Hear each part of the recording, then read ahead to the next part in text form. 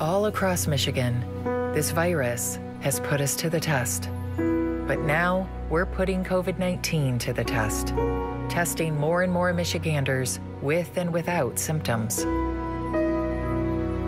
So if you have reason to get tested, we need you to get tested right away.